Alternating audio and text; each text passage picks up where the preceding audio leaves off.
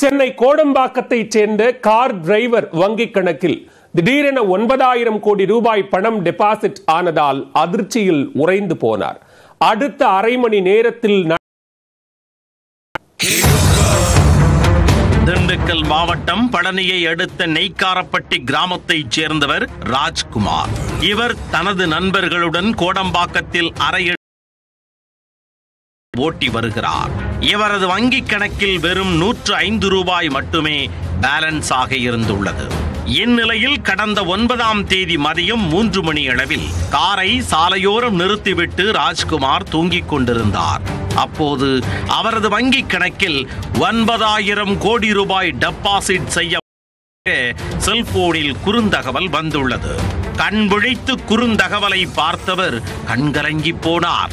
அதில் நிறைய பூஜ்ஜியங்கள் இருந்ததால் பதற்றத்தில் ஒன்பது கோடி ரூபாய் என நினைத்து துள்ளி குதித்துள்ளார். அதே நேரம் தன்னை யாரோ ஏமாற்றி கிண்டல் செய்ய நினைத்து இந்த குறுந்தகவலை அனுப்பி இருக்கலாம் என்றும் சந்தேகமடைந்துள்ளார்.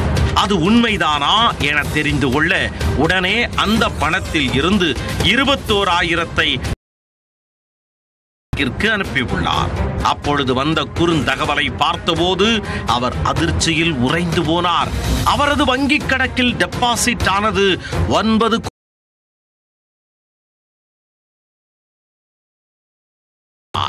ஆனால் அந்த இன்ப அதிர்ச்சி அடுத்த அரை மணி நேரம் கூட நீடிக்கவில்லை. முப்பது நிமிடங்களில் அந்த பணம் வங்கியில் இருந்து இதையடுத்து தூத்துக்குடியைச் சேர்ந்த வங்கி கிளை அதிகாரிகள் ராஜ்குமாரை தொடர்பு கொண்டு நடந்த விவரங்களை கூறி நண்பருக்கு அனுப்பிய இருபத்தோராயிரம் ரூபாய் பணத்தை உடனே வங்கியில் ஒப்படைக்குமாறு கேட்டுக்கொண்டனர். வங்கி அதிகாரிகள் மிரட்டுவது போல் பேசியதால் பயந்து போன ராஜ்குமார் வழக்கறிஞர் ஒருவருடன் டி நகரில் உள்ள வங்கி கிளைக்கு சென்றார். அங்கு ராஜ்குமார் தரப்பிலும் வங்கி தரப்பிலும் பேச்சுவார்த்தை நடத்தி இரு தரப்பினரும் சமாதானமாக செல்லலாம் என்று முடிவு செய்யப்பட்டது. திருப்பி தர வேண்டாம். அந்த இருபத்தோராயிரம் ரூபாய் நீங்கள் எடுத்த அமௌண்ட்டை வந்து திருப்பி எனக்கு தர வேண்டாம். அந்த இருபத்தோராயிரம் ரூபாய் வந்து நாங்களே கட்டிக்கிறோம் அப்படின்னு சொல்லிட்டு பேசுகிறாங்க ஒரு சைடு இப்படி பேசுகிறாங்க ஒரு சைடு வந்து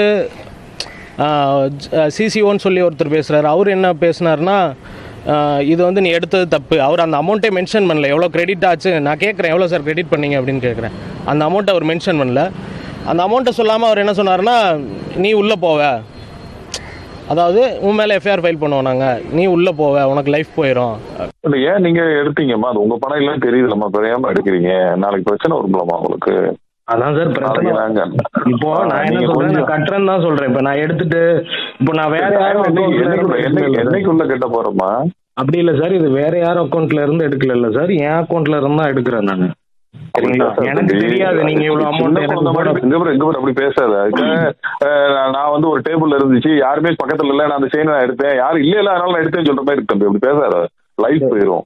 நான் ஒரு ஜெனரல் மேனேஜர் பேசுறேன் டாக்ஸ்ல இருந்து. கண்டிப்பா. டைம் தர்றோம். ச- சீக்கிரம் முடிப்பா இல்ல நாளைக்கு எஃப்ஐஆர் ஃபைல் ஆயிருப்பா எஃப்ஐஆர் ஃபைல் ஆயிடுச்சு சார். அதனால ஒன்றும் பிரச்சனை இல்லை சார். அது பாத்துக்கிறேன் உள்ள போறியா?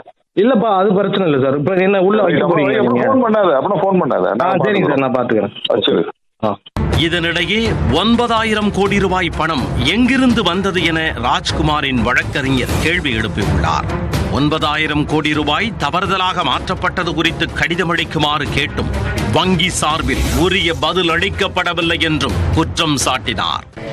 ஒரு ஒன்பதாயிரம் கோடின்றது ஒரு சாமானிய மக்களுக்கு ஒரு அக்கௌண்ட்டில் பணம் வருதுன்றது ஒரு சாதாரண விஷயம் கிடையாது. இது யாரோட பணம்? என்ன பணம்? ராங்கா டெபிட் ஆயிருக்கு.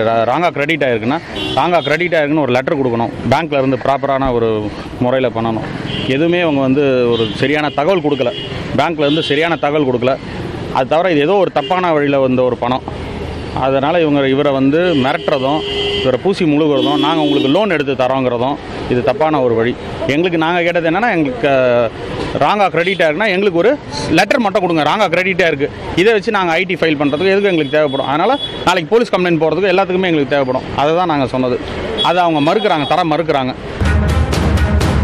ஓட்டுநரின் வங்கி கணக்கில் ஒன்பதாயிரம் கோடி ரூபாய் டெபாசிட் செய்யப்பட்ட தகவல் தற்பொழுது நாடு முழுவதும் பரவி பெரும் பரபரப்பை ஏற்படுத்தி உள்ளது